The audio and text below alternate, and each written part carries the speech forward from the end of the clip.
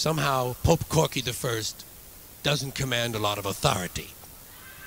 Now, would somebody just put a dick in that guy's mouth, please? Because that's what he wants. He's a cocksucker in disguise. He's got his mouth open because he wants someone to come in it.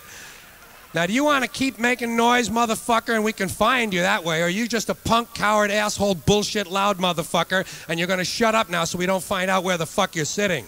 Because if you keep it up, we'll grab your ass and throw you on the fucking street where you belong with your mother. And I'm fucking her in the asshole every night anyway.